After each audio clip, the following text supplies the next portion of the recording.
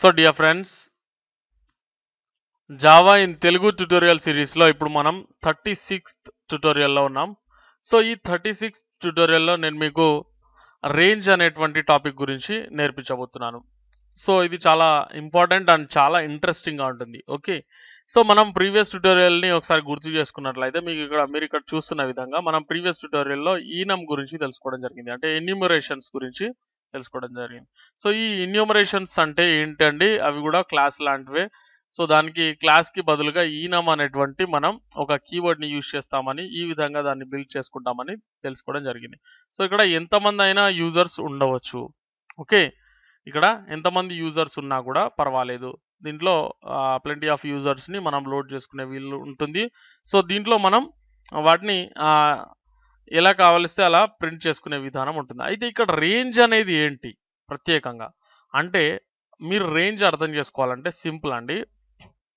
From to అనేటువంటి రెండు keywords మీద ఆధారంగా ఈ రేంజ్ అనేది పనిచేస్తుంది. మీకు అందరికి తెలుసు అనుకుంటాను నేను. సో ఎనీవేస్ ఇక్కడ చూడండి. మనం ప్రింటింగ్ అనేది స్టార్ట్ చేస్తే ఈ విధంగా ఇక్కడ మొత్తం ప్రింట్ అయిపోతుంది. ఓకే? సో ఇది ఓకే నో ప్రాబ్లం. కానీ మనకు అలా కాకుండా ఒక యూజర్ నుంచి మరొక యూజర్ వరకు మాత్రమే మనకు ప్రింట్ అవ్వాలి అనుకోండి. ఫర్ ఎగ్జాంపుల్ ఇక్కడ శ్రీకాంత్ దగ్గర నుంచి రోజీ వరకు ప్రింట్ అవ్వాలి లేదా జెస్సీ వరకు ప్రింట్ అవ్వాలి. ఓకే? సో ఈ విధంగా ప్రింట్ అవ్వాలి అని మనం అనుకున్నప్పుడు ఈ యొక్క యూజ్ రేంజ్ అనేటువంటిది మనకు చాలా చక్కగా ఉపయోగపడుతుంది. ఓకే?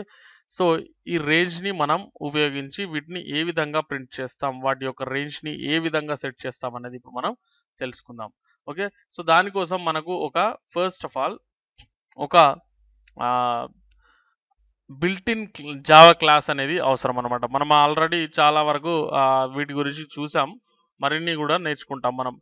సో ఓకే దానికంటే ముందు మనం ఏం చేద్దామంటే ఇక్కడ ఈ ఫర్ లూప్ని యూజ్ చేసాం కదా? దీని కింద మిగిలింది ప్రింట్ చేద్దాం. ఐ మీన్ ఇప్పుడు మనం ఏదైతే ప్రింట్ చేయాలనుకుంటున్నామో దాన్ని ప్రింట్ చేద్దాం. సో దానికోసం నేను కొంత గ్యాప్ అనేది సెట్ చేస్తాను first of all okay so gap వచ్చేసి నేను ఇక్కడ ఫర్ అవతల సెట్ చేస్తున్నాను చూడండి. System dot out dot print line okay so ఇక్కడ ఈ గ్యాప్ అనేది సెట్ చేయడానికి నేను first of all new line అనేది తీసుకుంటాను. అంటే దీని తర్వాత న్యూ లైన్ అనేది నేను తీసుకుంటున్నాను మళ్ళీ ఒకటి. సో ఆ తర్వాత నేను ఏం చేస్తానంటే కొంత ఈ యొక్క డాట్స్ కానీ లేదా ఓకే ఈ యొక్క అండర్ స్కోర్ని యూజ్ చేస్తున్నాను చూడండి. మీకు ఇక్కడ ఐ థింక్ మీకు అండర్ స్కోర్ అనేది కనిపించకపోవచ్చు. Okay no problem. ఇక్కడ చూద్దాం. సో ఎన్ అనేది రాసిన తర్వాత range of range of users అని చెప్పేసి రాస్తున్నాను. ఏదో ఒక టైటిల్ అనమాట అంతే. ఓకే సో ఆ తర్వాత ఇక్కడ చూడండి ఈ లాస్ట్లో కూడా నేను ఏం చేద్దాం అనుకుంటున్నానంటే నే ఎన్ అనేది తీసుకుంటాను. సో ఇక్కడ చూడండి నేను ఒక అండర్ స్కోర్ని క్రియేట్ చేస్తున్నాను. మీరు కూడా క్రియేట్ చేసుకోవచ్చు. అండర్ స్కోర్ని హోల్డ్ చేసి పట్టుకుంటే మనకి ఈ విధంగా లైన్ అనేది క్రియేట్ అవుతుంది ఓకే సో ఎందుకు ఇది అని అంటే ఒక్కసారి మనం ప్రింట్ చేస్తే మీకే అర్థమవుతుంది. చూడండి ఇక్కడ ఈ విధంగా మనం దీని నుంచి సపరేట్ చేయడం కోసం అంతే వేరే ఏం లేదు ఓకే ఇక్కడ అందరు యూజర్ని ప్రింట్ చేయడం జరిగింది. సో ఇప్పుడు మనం రేంజ్ అనేది యూజ్ చేయడానికి నేను మీకు ఇందాక చెప్పాను okay so import of inbuilt Java class okay so Java dot U T I L dot enum set అంటారు అనమాట దీన్ని. ఈనమ్ సెట్ సో స్పెల్లింగ్ కరెక్ట్గా ఉండాలి. సో ఈ ఒక క్లాస్ని అంటే ఇన్బిల్ట్ జావా క్లాస్ని యూజ్ చేసి మనం ఇప్పుడు రేంజ్ అనేది సెట్ చేస్తాం వీటి మధ్య. సో అదే విధంగా ఉంటుందో ఇప్పుడు చూడండి. సో నెక్స్ట్ మళ్ళీ మనం ఎన్హాన్స్డ్ ఫర్ లూప్ అనేది యూజ్ చేస్తాం as usual. So apple class కాబట్టి లేదా యాపిల్ ఇన్యూమరేషన్ కాబట్టి ఈ ఇన్యూమరేషన్ నేమ్ యాపిల్ తీసుకున్నాను. అండ్ తర్వాత ఇక్కడ యూజర్స్ అన్ని తీసుకోండి పీపుల్స్ అని తీసుకోండి ఎనీథింగ్ ఆబ్జెక్ట్ నేమ్ లేదా ఐడెంటిఫైయర్ నేమ్. ఓకే? సో పై విధంగానే. ఇక్కడ మాత్రం చేంజ్ అవుతుంది. ఏమవుతుందంటే ఈనం సెట్ అనేది తీసుకొని డాట్ రేంజ్ అనేది తీసుకోండి. సో ఇక్కడ టూ ఆర్గ్యుమెంట్స్ ఉంటవి యాక్చువల్లీ. ఓకే? సో ఈ ఈనం సెట్కి టూ ఆర్గ్యుమెంట్స్ ఉంటవి. యాక్చువల్లీ ఇది ఒకటి ఫ్రమ్ ఒకటి టూ అన్నమాట. ఓకే?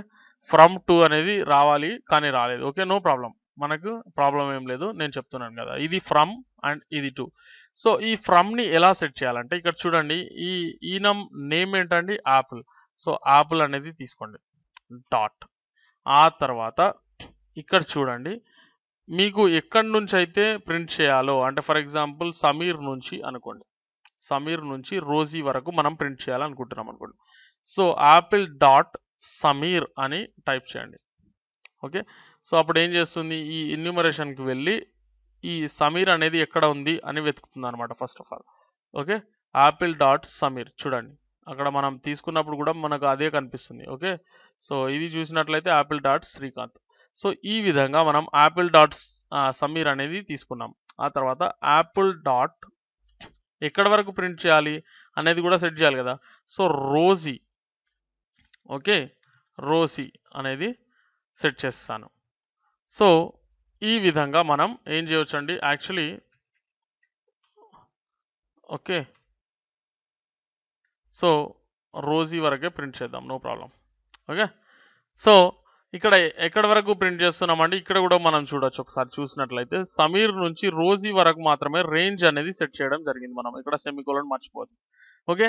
సో సారీ ఇక్కడ సెమికోలన్ కాదు. ప్రింటింగ్ ఆప్షన్ అనేది స్టార్ట్ చేయాలి కదా? ఫర్ లూప్ ఏం చేయాలనేది. So okay. ఇక్కడ మనం బాడీ అనేది తీసుకోవడం జరిగింది. ఇక్కడ మళ్ళీ మనం రాసుకోకుండా ఇక్కడ ఉన్నటువంటి దీన్ని అంటే ఈ యొక్క ప్రింటింగ్ మెథడ్ని మనం యూజ్ చేసుకోవచ్చు అనమాట సేమ్ మెథడ్లో అంటే మనకు ఫస్ట్ యూజర్ నేమ్ తర్వాత డిస్క్రిప్షన్ ఆ తర్వాత ఏజ్ ఆ తర్వాత జెండర్ అనేది ప్రింట్ అయ్యే విధంగా మనం ఇక్కడ సెట్ చేసుకోవడం జరిగింది కదా. సో దాన్నే నేను యూజ్ చేస్తున్నాను. కానీ ఇక్కడ మనం చేస్తున్న మార్పు ఏంటి అంటే దీనికి రేంజ్ అనేది సెట్ చేసాం. సో ఇదొక మళ్ళీ ఇదొక అర్రే అయినప్పుడు ఇదొక న్యూ అర్రే అవుతుంది అనమాట ఓకే?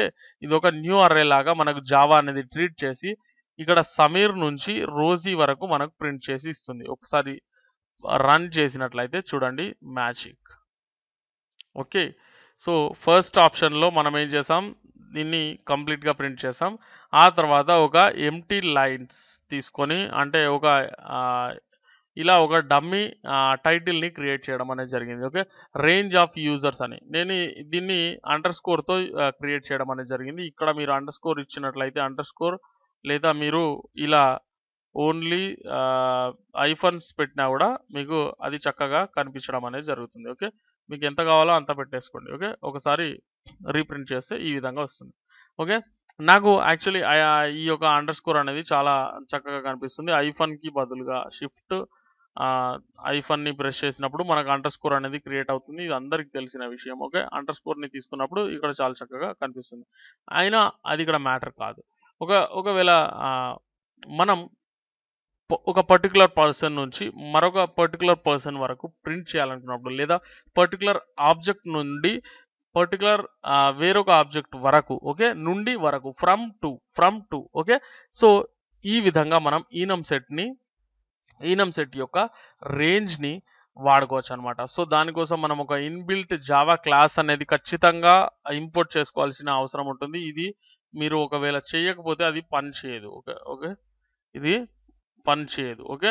సో కాబట్టి మీరు ఖచ్చితంగా ఇన్బిల్ట్ జావా క్లాస్ని ఇంపోర్ట్ చేసుకోవడం మర్చిపోకండి. అండ్ ఇక్కడ చూడండి మనం కంప్లీట్గా ప్రింట్ చేసే విధానాన్ని లాస్ట్ ట్యూటోరియల్లో తెలుసుకున్నాం. ఇప్పుడు రేంజ్ అనేది యూజ్ చేసి ఈనమ్ సెట్ డాట్ రేంజ్ అని ఇక్కడ తీసుకోవడం ద్వారా మనం ఒక న్యూ అర్రే లాగా దాన్ని క్రియేట్ చేసుకొని అంటే ఇన్బిల్టే మనం దాన్ని ఒక న్యూ అర్రే లాగా యూజ్ చేస్తున్నాం అంతే. సో దానికి రేంజ్ అనేది సెట్ చేస్తున్నాం జనరల్గా చెప్పాలంటే okay so Sameer to Rosie లేదా విక్కీ టు ఇక్కడ దీన్ని మీరు ఎప్పుడైనా మార్చుకోవచ్చు ఏ విధంగానైనా మీరు యూజ్ చేసుకోవచ్చు.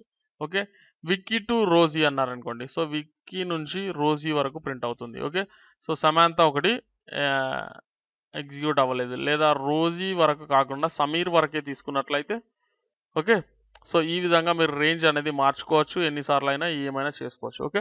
సో ఈ విధంగా మనం రేంజ్ అనేది సెట్ చేస్తాం. రేంజ్ అంటే ఏంటండి? ఒకదాని నుంచి మరొక వరకు ఓకే? ఒక పాయింట్ నుంచి మరో పాయింట్ వరకు దాన్ని ఎగ్జిక్యూట్ చేసే విధానం కోసం మనం రేంజ్ అనేది యూజ్ చేస్తాం. ఈ రేంజ్ అనేది మనకు డేట్స్లోను టైంలోను పీరియడ్ ఆఫ్ టైంని క్రియేట్ చేయడం కోసం అక్కడ అక్కడి నుంచి అక్కడ వరకు అని సెట్ చేయడం కోసం ఈ విధంగా ప్రింటింగ్ ఆప్షన్స్‌లో చాలా చక్కగా ఉపయోగపడుతుంది. సో, దీన్ని బాగా ప్రాక్టీస్ చేయండి. అండ్ రేంజ్ అనేది మార్చి మార్చి సెట్ చేయండి. విక్కీ నుంచి సమీర్ వరకు, శ్రీకాంత్ నుంచి జెస్సీ వరకు, అండ్ సమీర్ నుంచి రోజీ వరకు, జెస్సీ టు సమాంత వరకు ఈ విధంగా మీరు రేంజెస్ అనేవి మార్చి మార్చి ప్రింట్అవుట్ అనేది చేసినట్లయితే మీకు ఇది బాగా ప్రాక్టీస్ అనేది పెరిగి మీరు ఇంకా ఈ విషయాన్ని మర్చిపోకుండా ఉంటుంది. ఓకే. సో, ఏమైనా సందేహం ఉంటే కనుక నాకు డెఫినెట్గా మీరు కామెంట్‌లో అడిగినట్లయితే నేను డెఫినెట్గా ఆన్సర్ చేస్తాను. ఓకే. ఓకే. సో, ఎనీవేస్ మీకు ఈ వీడియో నచ్చినట్లయితే దయచేసి లైక్ చేయండి. ప్లీజ్ నా వీడియోలను లైక్ చేయండి. ఓకే. అలాగే నా వీడియోలు చాలా యూస్ఫుల్ అండి. అందరికీ యూస్ఫుల్ మీ అందరికీ తెలుసు. సో, అందరికీ ఉపయోగపడాలనేది నా ఆశ కూడా. సో, దానికోసం మీరు నాకు హెల్ప్ చేయడం కోసం మీ ఫ్రెండ్స్‌తో ఫేస్‌బుక్‌లో కానీ ట్విట్టర్‌లో కానీ వేరే ఏదైనా సోషల్ నెట్వర్కింగ్ సైట్‌లో గాని నా వీడియోలను షేర్ చేసుకోండి. Please like my videos. Please share my videos. Thanks for watching this video.